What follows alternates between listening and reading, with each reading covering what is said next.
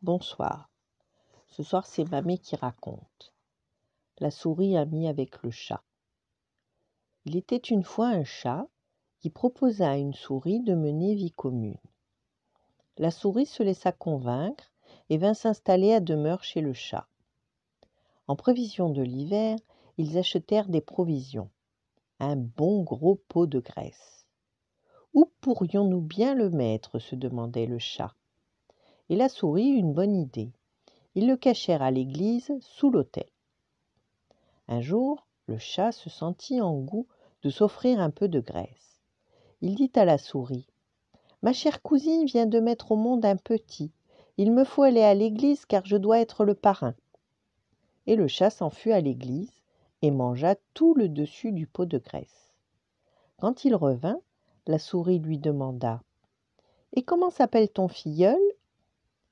Il s'appelle euh, Plus de dessus. Drôle de nom pour un chaton, s'étonna la souris. Que tu es sotte, un nom en vaut un autre. Quelque temps plus tard, le chat fit une seconde expédition contre le pot de graisse et en devora la moitié sous le même prétexte. La souris lui demanda Et l'enfant, comment s'appelle-t-il? Euh, Plus que la moitié, répondit le chat. Bientôt, il eut à nouveau une cousine qui avait besoin de lui comme parrain. Cette fois, il vida le pot. Et quand la souris lui demanda le nom du filleul, Plus rien, répondit-il. Quand il n'y eut plus rien à manger, la souris se souvint du pot de graisse et alla accompagner du chat à l'église. Mais le pot était vide. Ah, c'est ainsi, cria-t-elle, tu as tout mangé sans moi. Ah, je comprends. D'abord plus du dessus, puis plus que la moitié. La paix, grogna le chat. Sinon, je te dévore toi. Et après, plus rien.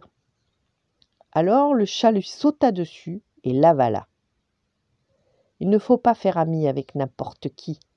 C'est ainsi que les chats et les souris font amitié. Voilà.